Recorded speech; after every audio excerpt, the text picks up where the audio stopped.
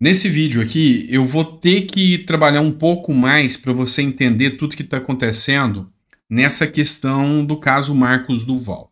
Tá? tá grave a situação. Nesse vídeo, eu vou trazer para você o trecho que motivou o Marcos Duval a agir. Eu vou trazer para você aqui é, imagens do celular do Marcos Duval, onde ele acusa o Daniel Silveira.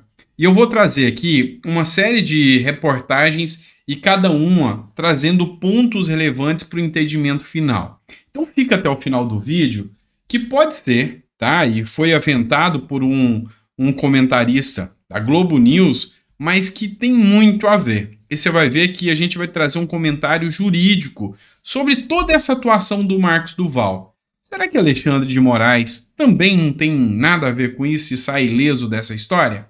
Eu vou explicar para você nesse vídeo. Para você se situar, tá? Para que não esqueça, esse é o quarto vídeo do dia. Então você vai ver que tem a hashtag número 4, tá? A gente numera os vídeos para você não ficar perdido. Hoje é dia 2 de fevereiro de 2023, tá? Então seja muito bem-vindo. Se não é inscrito no canal, sinta-se à vontade para se inscrever. Meta agora é 1 milhão e 300 mil seguidores. E se você é novo no canal, eu sou o Dr. Sandro Gonçalves, advogado, jurista, filósofo político e o intuito aqui do canal é fazer uma análise política e jurídica de tudo que acontece no nosso Brasil para você entender um pouquinho mais poder questionar, discutir e entender o real sentido da política aqui no Brasil. Combinado? Então vem comigo. Vamos começar por aqui, tá? Por aqui. Kim Paim, para quem não sabe, ele é um influenciador digital bolsonarista, tá? E ele, assim como o MBL, começou a questionar Marcos Duval devido ao fato dele ter ido abraçar o Columbre, ter ido abraçar o próprio Pacheco. Tá? Lembrando que o Alcolumbre foi quem movimentou aí a campanha do uh, Rodrigo Pacheco. Tá? O que, que, é a grande questão aqui? Ele questionou por que, que Marcos Duval foi dar parabéns ao Columbre. Ele é o responsável pela vitória do Pacheco, ou seja, questionou o Marcos Duval. E aqui, esse foi o fio da meada, o primeiro, tá? Marcos Duval já veio aqui e respondeu com um tom bem agressivo. Respondeu: Ele é e sempre será um amigo meu e da minha família. Não é porque você tem amizade com um maconheiro que você também é. Pelo amor de Deus. Vontade de largar essa. Ele usou a palavra aqui, porra, né? E voltar para a minha carreira na SWAT. Eu perdendo a minha saúde sem ver a minha família para ficar lendo isso. Então, a imagem que chamou atenção aqui foi essa aqui, tá? Um abraço do Marcos Duval no Alcolumbre. Fala com a gente aqui um pouquinho, Davi. Ô, presidente, dá uma palavrinha sobre a vitória aí. A gente vai comer o. Ele é que manda, cara. Questionado o Marcos Duval pela alegria e pela felicidade que ele estava ao, ao cumprimentar o Columbre. Somente alguém que não tem conhecimento nenhum de política, nada de conhecimento de política, para tecer um comentário como esse. A política é assim. A, a, na política você não coleciona inimigos, tá? Então, mesmo que você vote contrário a uma pessoa, aquilo é uma questão profissional. Não tem nada a ver com o pessoal. Nesse ponto aqui, ah, irrefutável. Isso aqui acontece o tempo todo. Afinal, você viu Moro e Bolsonaro, a intriga que aconteceu, e no final das contas, Moro ainda apoiou Bolsonaro. Entenda uma coisa: política não se lida com paixões. Esse é um grande erro que causou, inclusive, a queda de apoios ao Bolsonaro. Então, ah, na minha visão, ah, eu não concordo com o influenciador digital que fez essa postagem uma vez que ele seria apoiador de Bolsonaro. Já o MBL, a gente sabe que ele tem um intuito aqui de causar o caos, ele causa muito o caos em cima do bolsonarismo e tem muita gente que cai nessa, e não é hora de desunião. Mas vamos lá, tem coisa importante. Essa aqui é a fala, e por coincidência, numa live com o MBL, que o Marcos Duval começou todo essa, esse auê. Presta atenção aqui, tá? Fui contra, porra, eu ficava puto quando me chamava de bolsonarista. Ah, o senador bolsonarista e tal. E vocês esperem, eu vou, eu vou soltar uma bomba aqui para vocês. Sexta-feira vai sair na Veja a tentativa do Bolsonaro de me, me, me, me coagir para que eu pudesse dar um golpe de Estado junto com ele. Só para vocês terem ideia. E é lógico que eu denunciei.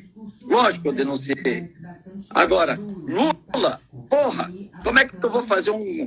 Como é que eu vou ser um senador apoiando projeto desse, desse bandido que ainda responde uma caralhada de, de, de, de crime? É só ir na, no site da Justiça de São Paulo, bota o nome dele que aparece uma caralhada de processos dele respondendo criminalmente. Porra, gente, é a hora que a gente que tem que estar tá um dando força pro outro. Vocês me botam aí junto com, como traidor. Porra, velho, tem 51 anos de idade, bicho. Pois é, pessoal. O que, que você percebe? Você percebe uma indignação do Marcos Duval com o MBL, mas também ele solta os cachorros em cima de todo mundo, tanto do bolsonarismo quanto do petismo.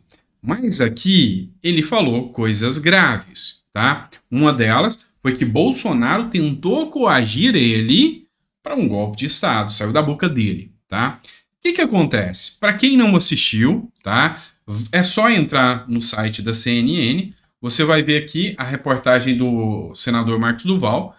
Dura mais ou menos 35 minutos a reportagem, e aqui ele fala tudo, o que, que aconteceu, mas ele mudou a versão três vezes, tá? E aqui ele fala, não, não, eu não, não fui coagido, a imprensa que mudou. Não, ele falou, tá? ele falou isso. E aqui ele muda a versão do, do que aconteceu, tá? E aqui ele fala que ele estava num carro por uma reunião marcada com o Daniel Silveira, que foi preso hoje de manhã, e o Bolsonaro. Ali, só o Daniel Silveira falou e o Bolsonaro só ouviu. Só que aqui um ponto chamou atenção, que Marcos Duval tinha ligação com Alexandre de Moraes. E depois do ocorrido, ele ligou para Alexandre de Moraes, mandou mensagem, até essa é a verdade, para o Alexandre de Moraes informando o que tinha acontecido. E o Alexandre de Moraes deixou que ele seguisse ali na oitiva com o Bolsonaro e o Daniel Silveira. Escuta aqui comigo esse trecho da fala aqui do próprio Marcos Duval, que realmente interessa a, ao contexto aqui. Falou, ó, como você está tendo acesso frequente com o ministro Alexandre de Moraes, a gente queria te passar uma missão que pode salvar o Brasil. E aí ele começou a explicar. A ideia seria eles colocariam o equipamento de, de gravação, teria um veículo já próximo ao STF, captando o áudio, e eu nessa reunião com o ministro Alexandre, eu conduzindo para ele falar que em algum dos processos dele ele ultrapassou a linha da Constituição. E aí eu disse de pronto que eu não iria fazer isso, né? não iria fazer, porque eu falei, olha, presidente, até e Daniel, isso é ilegal. E aí o Daniel falou assim, não, mas aí nós vamos já ter uma equipe que já estaria preparada para poder ir para a mão de não sei quem, que tornaria a gravação de uma forma como se tivesse, iria ser legalizado. Pois é, essa matéria aqui foi publicada no UOL. O que, é a grande questão? O jornal Metrópolis trouxe aqui os prints que o Marcos Duval divulgou nas redes sociais, divulgou também para a imprensa, onde ele traz essas acusações de Daniel Silveira e Bolsonaro. Depois ele tentou mudar os fatos. Mas dá uma olhada aqui, ó. Em mensagem, vou colocar na tela para vocês. Em mensagem, Daniel Silveira diz que plano de golpe ficaria entre cinco pessoas. E agora resta saber quem seriam essas outras pessoas. A grande questão aqui é que nessa conversa juntaria o Marcos Duval, iria conversar com Alexandre de Moraes, fazer uma gravação de Alexandre de Moraes e depois entregar Daniel Silveira e Bolsonaro, segundo ele informa aqui, para que uh, isso fosse utilizado uh, contra Alexandre de Moraes, mostrando que ele é uma pessoa parcial em relação ao pleito eleitoral. Vamos prestar atenção aqui nos prints do Daniel Silveira. Olha só o que ele escreve aqui. Eu vou ampliar para que vocês possam ver. Daniel Silveira falou para o Marcos Duval: Irmão, essa missão está restrita a três pessoas e só irá ficar, provavelmente, com mais cinco após concluída. Cinco estrelas, ou seja, generais. Tranquilize-se. Essa missão nem o Flávio saberá. Bom dia. Mudei meu voo e estarei em QAP, né? Até o comando do 01, que é o Bolsonaro, como eles citam Bolsonaro, para irmos até lá.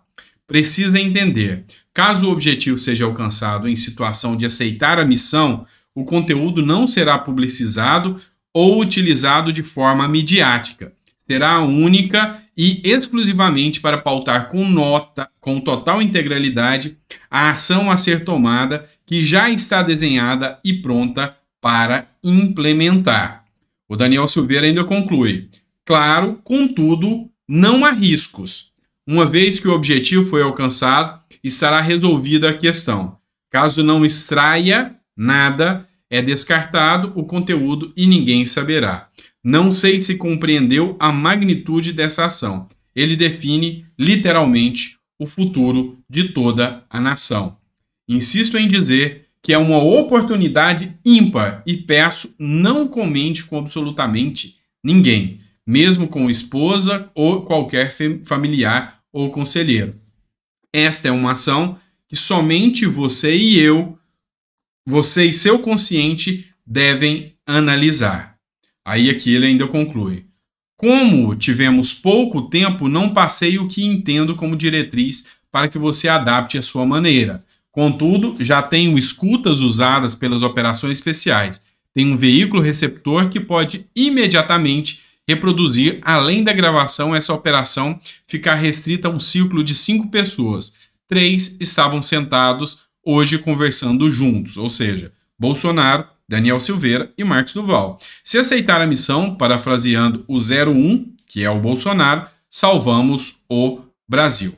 E Daniel Silveira ainda conclui: somente por isso é absolutamente nada mais. Você tem a palavra e o respaldo de pessoas muito importantes e relevantes que decidiram não participar da conversa para não exporem ou assustarem. No entanto, estão todos em uma esperança sem precedentes, pois somente com você o cenário da missão é possível, pois existe uma brecha aberta que não irá se abrir a ninguém. Bom dia, a caminho de Brasília, vamos fechar aquela conversa. Boa tarde, meu amigo, ou seja, ele continuou tentando conversar com o Marcos Duval. Então, o Marcos Duval trouxe os prints e expôs os prints do Daniel Silveira aqui. A Folha de São Paulo já traz a seguinte publicação: Marcos Duval muda a versão, tenta isentar Bolsonaro e recua de renúncia no Senado. O Metrópolis já traz mais direto com a preocupação da renúncia. Marcos Duval recua e diz que não sabe vai se vai renunciar é um desabafo. Aqui durante a entrevista ele falou que conversou com a equipe, então ele voltou atrás e resolveu não renunciar. A grande questão que chama atenção aqui é que ele voltou atrás e retirou ah, as acusações que ele fazia e jogou isso para a imprensa, de que ele foi coagido por Bolsonaro. Um, a Hora Brasília, que é um jornal, uma mídia mais voltada à direita, ela trouxe um ponto interessante. Marcos Duval estava agindo tanto com Bolsonaro e Daniel Silveira, mas também com Alexandre de Moraes. Ou seja, toda a conversa que ele teve com Bolsonaro e Daniel Silveira, ele levou para Alexandre de Moraes, que tinha todo o conhecimento. Então, ele fez um papel aqui, segundo a Hora Brasília consta, de uma trama de agente duplo para derrubar o ministro de Alexandre, o ministro Alexandre de Moraes, ou seja, ele teve dos dois lados. A grande questão aqui é: Alexandre de Moraes se sabia do ocorrido, por que ele ficou em silêncio até agora?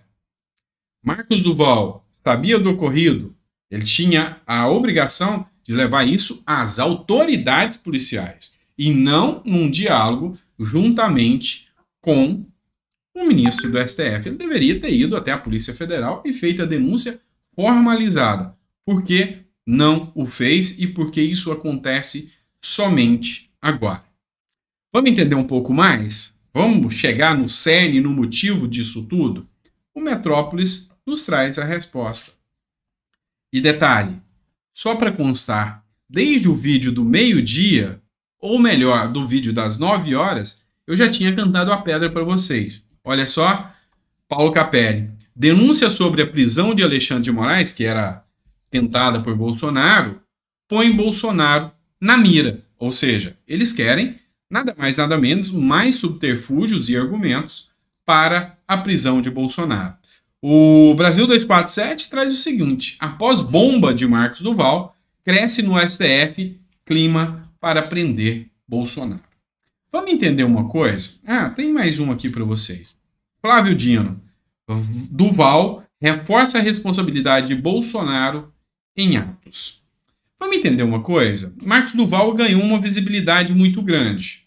E a visibilidade dele foi acusando Flávio Dino e Lula de prevaricação. Ou seja, ele ganhou um apoio pró-bolsonarismo, inclusive tinha gente já falando em Marcos Duval para 2026 como presidente. Ou seja, ele veio, criou um, um, uma situação contra Dino, contra Lula, ganhou a opinião pública do lado bolsonarista e depois solta uma bomba dessa num momento assim, pelo calor da do momento, não é ele que é um voltado à técnica de inteligência, não é ele que é um uh, articulador de planejamento de uma equipe como a SWAT, será que realmente Marcos Duval agiria no calor da raiva para falar em renúncia e cair atirando, acusando o Bolsonaro? Você não vem achando isso muito estranho? Um repórter da Globo, o Octávio Guedes, ele pôs um ponto aqui bem interessante. Eu vou até colocar o Twitter dele aqui para vocês.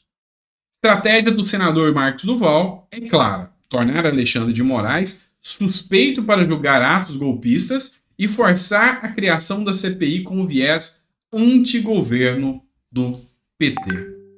Será? Preste atenção numa questão. Isso aqui só joga a bomba para cima do Bolsonaro. Todo aquele foco que uh, Marcos Duval vinha trazendo contra Dino e Lula perde total descrédito agora. Será que isso aqui vai ser aceito por alguém para tornar Alexandre de Moraes suspeito? Vem cá. Se Alexandre de Moraes realmente for suspeito e tá o que mais se questiona, principalmente no mundo jurídico hoje, e eu como jurista eu tenho essa questão também, é a parcialidade. Um princípio que vem sendo violado, ou seja, o princípio da parcialidade já torna uh, um, o Alexandre de Moraes suspeito, digamos assim.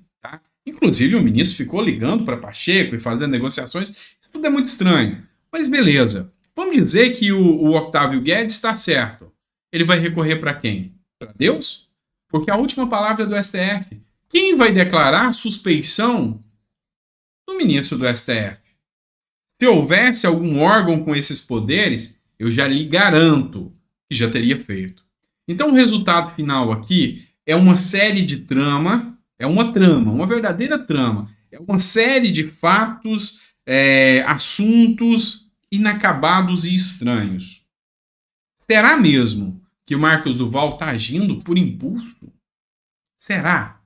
Eu queria o seu comentário, porque eu acho muito estranho. Ele que era pagado, ele que nunca teve ligação com o Bolsonaro, de repente ele vem, cria um protagonismo, vai lá no, no no, no galpão lá onde os bolsonaristas estavam presos, ganha confiança, acusa Dino, acusa Lula, sabendo que isso não vai dar nada, porque quem julga é o ministro Alexandre de Moraes. Agora diz que era muito amigo de Alexandre de Moraes, tinha amizade desde São Paulo, quando ele comandava a segurança pública, e o ministro Alexandre de Moraes era um político do governo Alckmin. E agora ele diz que simplesmente foi coagido por Bolsonaro, tenta voltar atrás. Isso aqui é só para reforçar, pessoal. Vamos entender. Uma minuta apócrifa, sem assinatura, com uma, um ex-ministro da Defesa, da Justiça, preso, é pouco demais para prender Bolsonaro. Agora, uma fala de um senador que estava ali, conseguiu um alinhamento com os bolsonaristas, falando que Bolsonaro tentou um golpe, é a carta final para a prisão do Bolsonaro. Vocês não acham que tudo isso está muito estranho? Coloca no comentário. Eu quero ver a opinião de vocês aqui. O que, que vocês acham sobre tudo isso? Para mim, no final das contas, reforça. E o intuito aqui, eu acho que já foi ah, solucionado pelo Metrópolis. Denúncia sobre prisão de Alexandre de Moraes é só para pôr o Bolsonaro na mira. Ou então o próprio 247. Sobre o clima no STF para prender Bolsonaro. Ou então o próprio Flávio Dino fala, reforça a responsabilidade do Bolsonaro em atos. Isso aqui é matéria do Pleno News, hein? Que é um jornal de direita. Pois é. Coloca o seu comentário. Ficou um pouquinho extenso, né? Mas esse assunto é muito polêmico e a gente precisava esmiuçar um pouco mais sobre isso aqui com vocês. Combinado? Espero vocês até o vídeo das 7 horas. E aí, é lógico, a gente vai abordar muitos outros assuntos, porque o tempo não para, a política não para e a gente sabe como funciona tudo isso. Um abraço, até às 9 horas.